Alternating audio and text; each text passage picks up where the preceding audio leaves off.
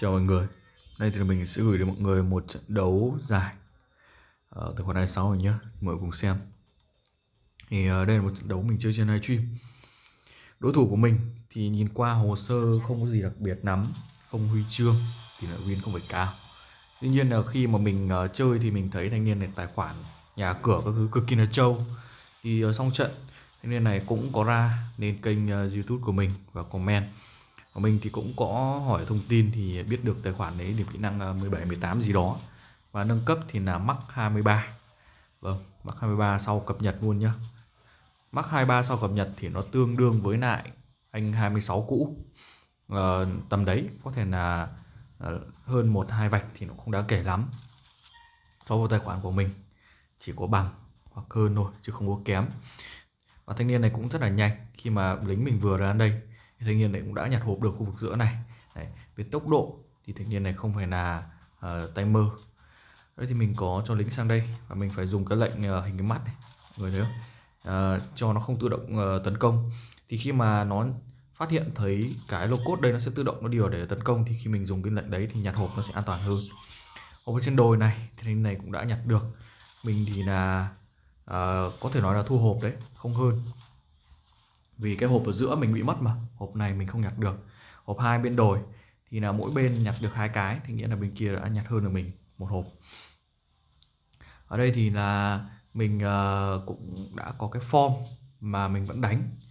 Uh, trừ cái kiểu mà nó full ờ, uh, T21 như cáp ra thì còn hầu hết các trận còn lại mình vẫn sẽ chỉ ra một nhà xe một nhà khói và hai nhà máy bay. Đấy. À, với kiểu đánh này thì mình sẽ hướng đến cái việc là đánh ờ, về lâu về dài ra hạt nhân. Đấu hạt nhân và không gian thôi. Và cố gắng là không mắc sai lầm tận dụng những cái sai lầm của đối thủ để mình lấy lợi thế. Và từ những cái lợi thế đấy thì mình giành chiến thắng thôi. Chứ còn nếu mà để lấy khói đi công ấy thì rất là khó. Mà dùng máy bay ném bom để chiến thắng ấy thì chỉ gặp gà thôi chứ gặp những thằng nó ngang cơ của mình ấy thì máy này ném bom hay kể cả máy bay hai không thể dùng hai đơn vị để chiến thắng được đơn vị đấy à, nó chỉ là phụ trợ và cái đích đến cuối cùng của mình thì vẫn cố gắng là bắn hạt nhân vào bên phía đối thủ. Đấy. ở đây thì uh, cái giai đoạn này là giai đoạn triển khai thôi ở đầu trận. Uh, mình đã chơi đến uh, 8 trung cấp và bắt đầu dựng nhà cửa xây luôn một cái xưởng xây dựng. Đấy. đây thì mình qua trinh sát nhà thanh niên một chút.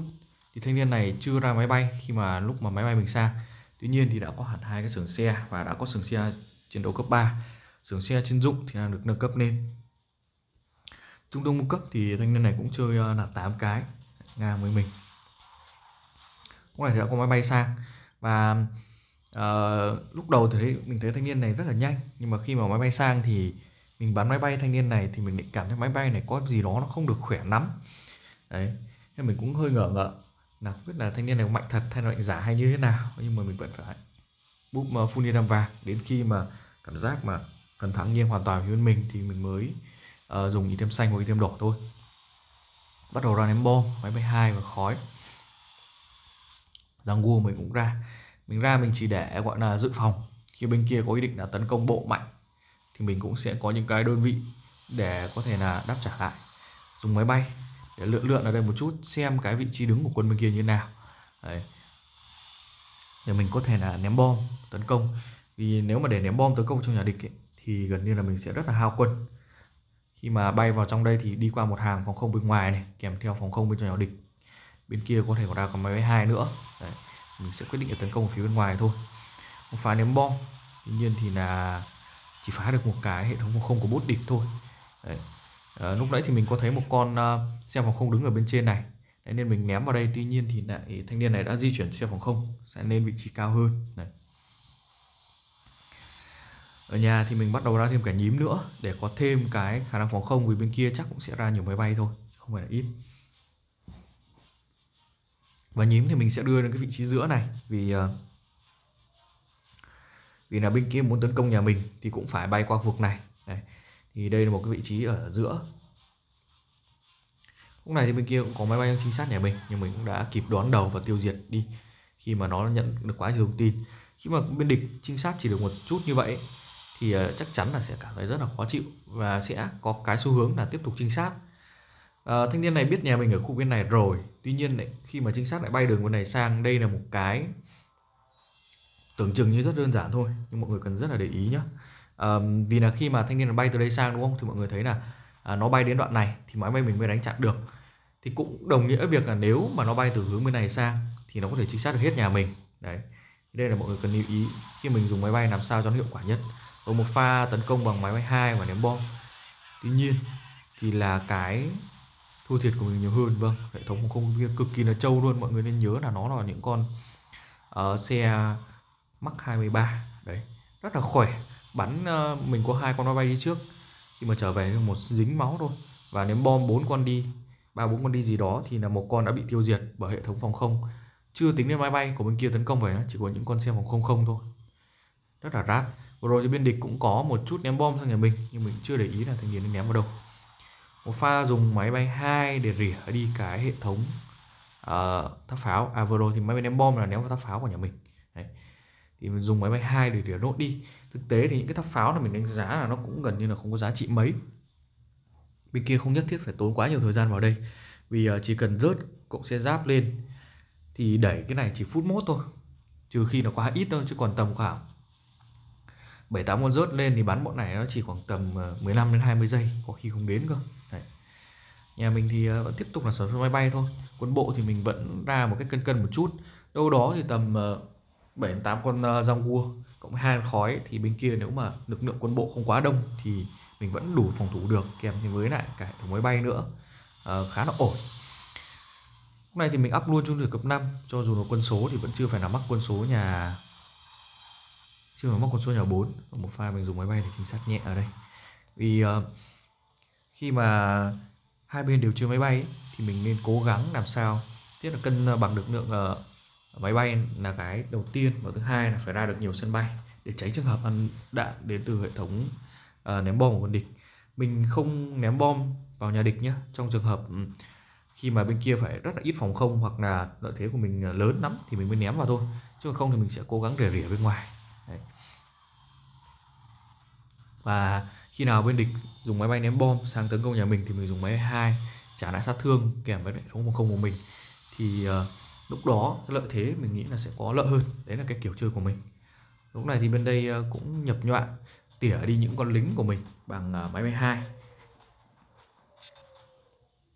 Ở nhà lúc này thì mình đã lên thành công trung thủy cấp 5 và bắt đầu xây thêm những cái sân bay. Ở cái giải đấu này thì uh, mình cũng không có kiểu chơi nào khác. Ngoài mấy trận gặp đỏ thì mình chơi máy bay một ra. Đấy. lúc này thì đúng lúc mình đang định dùng máy bay trinh sát thì bên kia uh, vác bom sang đây để ném à, pha này thì ném vào sân bay của mình. Nhưng mà thanh niên này à, ném hơi tham và hụt rồi. Nên chia ra để ném thì sẽ tốt hơn. Đấy. Mình phải dùng máy bay 2 để tấn công thì mới có thể là tiêu diệt được máy bay của bên kia nhé còn nếu mà hệ thống phòng không của mình không ấy thì máy bên kia bay bên kia ra vào như chợ luôn.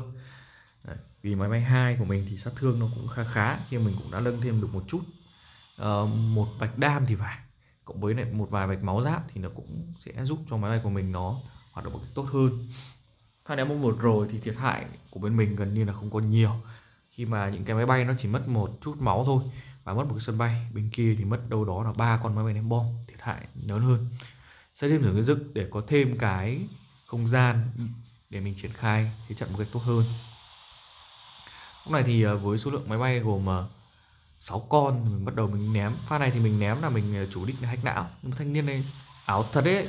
À nó nó nó nó vào livestream mình nó nói chuyện thì nghĩa là hình như là không biết là nó có đá livestream mình không nhưng mà uh, mình thấy mọi người thấy không? Đúng lúc mà máy bay ném bom của mình chuẩn bị ném vào đây thì là bay gần sang cái nơi thì thấy rớt và xe giáp của nó di chuyển sang đây. Không biết là bằng cách nào đúng không mọi người? Bình thường ấy nếu mà di chuyển thì di chuyển trước hoặc là không thì di chuyển sau làm gì có chuyện mà kiểu như là di chuyển khớp như vậy nhỉ?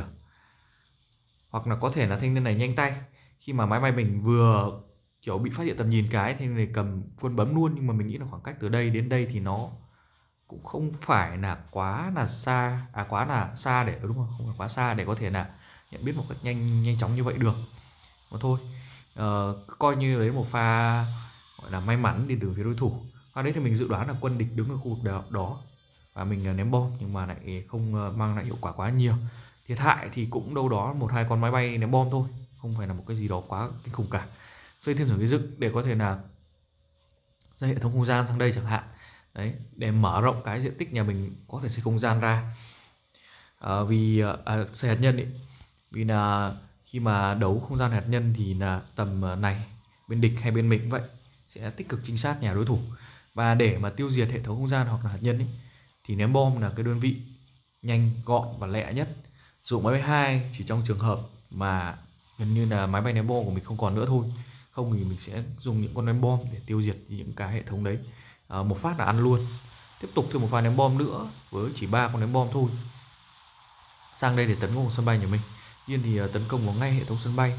À, đang à, sử dụng à, đang có máy bay hai và quân địch tấn công vào thì mình đã kịp cất cánh lên một pha tấn công mà bên kia mất toàn bộ máy bay và bên mình thì thiệt hại duy nhất một cái sân bay thôi. Đây là cái sai lầm đến từ phía đối thủ đấy. Khi mà tấn công nhà với một lượng máy bay quá nhỏ thì cái lượng sát thương tập trung đến từ hệ thống phòng không của mình nó dồn vào là rất nhiều. Nếu mà xác định tấn công vào nhà mình ấy thì phải dùng một lượng máy bay ném bom cực kỳ là lớn để tấn công. Còn không thì thôi tốt nhất là tấn công vào những cái mục tiêu cứng ở, ở khu vực rìa này thôi. Lúc này thì lượng tài nguyên mình dư rất là nhiều nhưng mà mình vẫn quyết định là chưa xây không gian vội vì chưa thấy bên kia chính sát nhà. Mình đợi bên kia chính sát xong thì mình mới xây cơ à, xây hạt nhân ý. một pha chính sát vào máy bay của mình sang phía nhà đối thủ. Thì uh, ở đây thì nhiên là xây một cái hệ thống phòng không cực kỳ là dày với các cái tháp phòng không kèm là Vertex. Hệ thống máy bay của bên kia thì rất là ít do là liên tục có những pha đốt máy bay đến từ phía đối thủ nên là máy bay ném bom bên kia gần như là không còn. Xây hệ thống không gian xong và đang sản xuất rồi. Tài nguyên của mình đang dư rất là nhiều và mình đang lựa chọn một cái vị trí xây cho hợp lý thì mình bắt đầu. Xây dựng những đây và xây hệ thống hạt nhân. Thì cái vị trí này mình thấy nãy giờ quân địch không chính xác mấy nên là mình quyết định xây ở đây. Và mình xây phải xây thêm một cái xưởng dựng nữa. À, lúc này thì ờ, mình bắt đầu dùng những con ném bom sang để tấn công vào cái hệ thống à, sản xuất không gian của quân địch. À, mình không thể chờ lâu hơn được. À, nếu mà kể ra mình có khả năng tốt mình căn chỉnh được chính xác cái quãng thời gian mà cái hệ thống hạt nhân này hoàn thành sau đó mình ném. Thì pha ném như vậy nó sẽ là mắc binh nhất nhưng mà không thể nào mà như thế được. Chắc là phải có đồng hồ bấm giờ cơ. À, thanh niên bên kia thì uh, mình cảm thấy là cái khả năng phản xạ không phải là quá nhanh. Khi mà những con máy bay của đỏ nó bay rất là chậm và máy bay của mình bay đến tầm này bên kia đã có thể phát hiện được tầm nhìn rồi và máy bay của xanh thì khả năng cất cánh rất là nhanh. Nhưng mà khi mà mình ném bom xong thì thanh niên đấy mới cất cánh máy bay lên để có thể là sang nhà à, để tấn công của máy bay ném bom của mình. Thì lúc đấy là cái mục đích của mình đã được hoàn thành rồi. Lại một pha chính xác nữa và bên kia thì đã bị à, mình đánh chặn không chính xác khu vực này được. Đấy. Lúc này thì hệ thống không gian của mình hạt nhân của mình được xây xong và bắt đầu lên. Hạt nhân này bút ghi tiêm sản xuất để có thể sản xuất nhanh hơn đến tận một phút thì mình mới có thể hoàn thành xong được cái hệ thống này. Mà trong quãng thời gian này khu vực đây có thể là khu vực bị chính xác khi mà vừa rồi chính xác quân địch cũng đã chính xác được khá khá đến tầm giữa này rồi. Tuy nhiên thì không thấy có bất kỳ một cái gì cả. Mình hoàn toàn có thể xây uh, hạt nhân ở khu bên trên này cũng là một khu vực uh, khuất tầm nhìn. Vì thường thường chính xác người ta sẽ chính xác hàng ngang này và sát mép này hơn. Vì vậy là khi mình xây lên uh, gần gần những cái công trình của bốt này thì có thể bên địch cũng sẽ không phát hiện ra được. Tuy nhiên, thì tầm nhìn của những con máy bay là rất là nhiều. Tầm nhìn của nó rất là rộng, vì vậy là không cẩn thận thì bên địch vẫn có thể phát hiện ra được. Và xây ở khu bên trên này, quân địch tấn công thì nó cũng sẽ dễ dàng hơn rất là nhiều. Ở đây thì lúc này bên địch đã dùng máy bay trinh sát vào hướng bên này của nhà mình và đã phát hiện ra cái hệ thống hạt nhân của mình xây ở đây. Và ngay lập tức thì mình tắt luôn. Mình không muốn là lúc mà chưa kịp bắn mà đã bị bên kia phá đi rất là phí và xây luôn một hệ thống ở chỗ khác. À, khi mà lần trước mình cũng đã có một lần lỗi à, bị quân địch tấn công nhưng mình không tắt ngay từ đầu và đã phải trả giá khi một cái lượng tài nguyên à, mình bị mất đi là cực kỳ là lớn với 2.500 tài nguyên của hệ thống không gian. Kìa à, 2.500 tài nguyên của cái việc là sản xuất hạt nhân cộng với cái hệ thống của nó là 1.500 nữa là 4.000 tài nguyên của mình bốc hơi trong một quãng thời gian rất là ngắn và điều đó khiến mình mất lợi thế rất là nhiều ở đây thì mình đã tắt sản xuất hạt nhân và mình xây trong một vị trí khác. Đấy. để có thể là cho cái hạt nhân này nó an toàn hơn. Bắt đầu dùng máy bay chính xác lúc này thì mình cảm thấy chính xác hơi muộn. Đấy. và sang nhà địch xem như thế nào.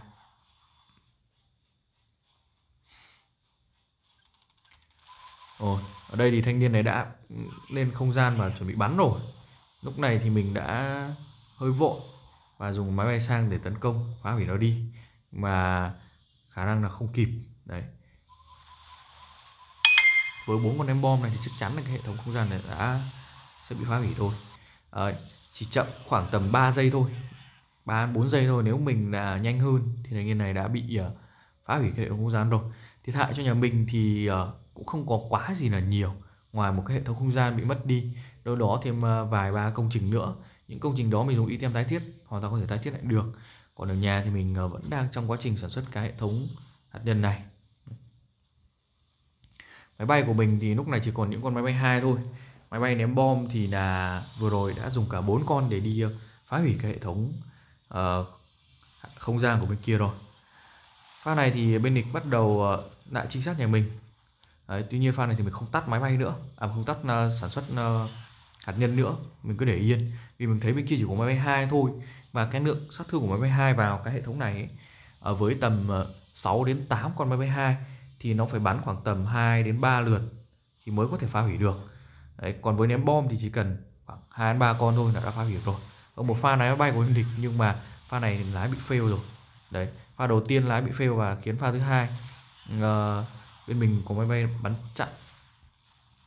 Nên là cái lượng sát thương của máy hai bên kia người ta không phải là quá nhiều thanh niên này bổ mắc 23 tuy nhiên thì mình cảm thấy những con máy bay hai thanh niên này nó kiểu hơi mỏng mỏng kiểu gì vậy? Hay là chỉ ờ, mắc uh, ờ, gần hết không biết? Lúc này thì mình uh, đã bảo vệ thành công được cái hệ thống hạt nhân và mình uh, sẽ bắn nó. Đấy. khu vực mình đang nhắm đến là khu vực uh, chứa nhiều sân bay cộng với lại cái hệ thống uh, phòng không cực kỳ là dày như này. Nên mình uh, cố gắng ưu tiên bắn vào những cái sản xuất quân trước pha này cũng là một pha mình cũng hơi lơ là đấy. À, vì là kiểu như thanh niên này chắc chắn là sẽ sản xuất lại cái hệ thống uh, không gian nên là pha bắn hạt nhân này của mình đúng ra là nên nhắm vào cái vị trí mà lúc trước quân địch đã xây uh, không gian thì sẽ đẹp hơn. Và đặc biệt là mình nên trinh sát trước khi bắn chẳng hạn. Rồi một pha bắn vào đây mọi người thấy không? Số công trình bị phá hủy gần như là không phải là quá nhiều. Vì nhà cửa thanh niên này cực kỳ là trâu luôn một pha dùng máy bay hai tấn công vào cái hệ thống hệ thống uh, trung tâm chỉ huy này. Nhưng mà sát thương thì không được là, là bao nhiêu cả. Tiếp tục thì mình uh, chuyển hướng sang tấn công hệ thống không gian. Nhưng mà thanh niên kia đã tắt đi và những con máy bay của mình thì khá là đuối máu rồi. Uh, có vòng lại tấn công cố thì chắc là cũng sẽ tiêu phá hủy được. Nhưng mà máy bay của mình sẽ bị mất hết. Uh, nhà mình đã sản xuất được ném bom rồi thì mình quyết định sử dụng ném bom này để tấn công vào đấy sẽ đẹp hơn.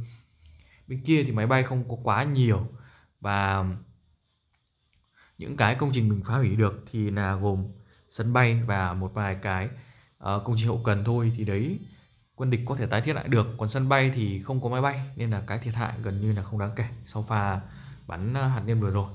Lúc này thì uh, mình uh, lục đục chuẩn bị là một kế hoạch mới là, là sẽ tấn công vào đường bộ khi máy bay bên kia không có ném bom.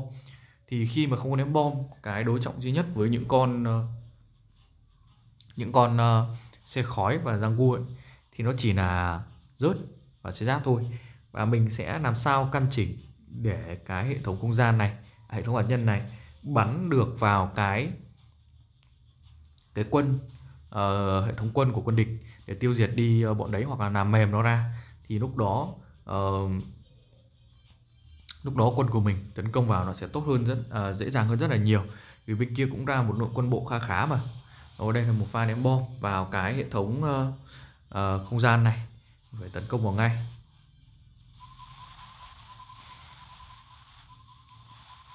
Thanh niên này thì cũng không còn sản xuất không gian đây nữa và có lẽ cũng đã chuyển hướng sang một khu vực khác rồi. Đấy. Ở bên đây thì là quân của bên phía đội bạn đứng ở một vị trí nào đó mà máy bay của mình bay qua nãy giờ chưa thấy. Ở nhà mình thì ờ, hệ thống ờ, hạt nhân còn tầm khoảng ờ, 40 giây nữa. Sản xuất xong, tiếp tục vẫn phải ra ném bom. Mình chỉ ra tầm 3 con thôi để phá đi hệ thống không gian của địch. Ở một pha dùng máy bay để chính xác đấy, bên địch cũng có một cái hệ thống quân mặt đất này và ở đây thì có không gian, như mọi người thấy đấy. Quân mặt đất của thanh niên này thì cũng không quá nhiều, cũng tầm bằng quân của mình thôi và mình bắt đầu tấn công vào khu vực ở đây. Đấy. và mọi người nhìn, đây là cái hệ thống hạt nhân mình mình quyết định bắn ở khu vực này nhé thì khi mình tấn công vào đây ấy, thì ờ, bên kia sẽ đưa quân từ khu vực này di chuyển ra đây để có thể là uh, phòng thủ khu vực này. Và đấy là cái đợt quân duy nhất của quân địch còn có thể uh, uh, huy động được để chống lại khói. Thì có thì mình căn là bên địch đi đến đây và ăn uh, hạt nhân của mình. Đấy.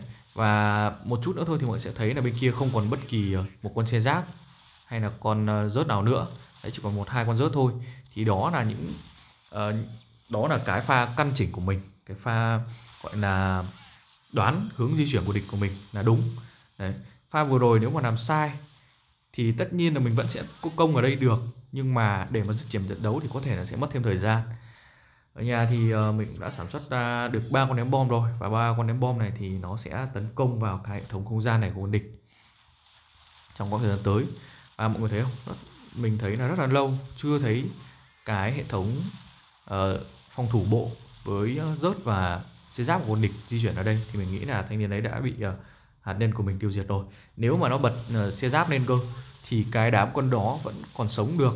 Nhưng mà với lượng máu khoảng tầm uh, 30% nhưng mà không bật xe giáp lên thì uh, sẽ bị uh, tiêu diệt hết. Đấy thì mọi người thấy này bên đây chỉ còn có ba con rớt ở vị trí này thôi và một pha dùng máy bay ném bom phá hủy nốt đi cái hệ thống không gian cho chắc kèo. Và lúc này thì mình địch gần như là không còn cả phòng thủ nữa.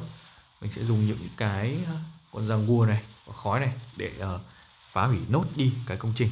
Nhà này rất là trâu mọi người thấy quả hạt nhân thứ hai của mình đấy mình bắn mình bung item như vậy. Mà cái công trình bị phá hủy nó cũng chỉ có vài cái công trình nằm trong cái vòng của hệ thống hạt nhân thôi. Còn những cái công trình nằm ở rìa đấy gần như nó không xi nhê mấy. Đấy. Và trận đấu thì có lẽ sẽ kết thúc tại đây thôi. Cảm ơn người đã xem nhé. Chào mừng mọi người.